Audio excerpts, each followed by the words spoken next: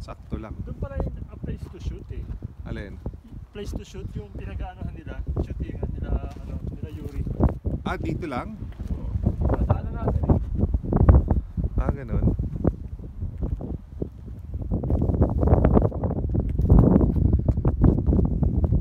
Meron ako napanood na vlog eh.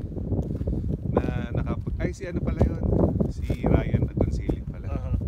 Yeah, ang dami niyang ano, motor. tayo motor pala nun. Sabi niya, tayo na-admire niya lang yung bike niya. At mag-ride sa admire niya yung bike niya. Sabi nga, sabi nga ni Juday. Oo. Isa pag may ako na yan.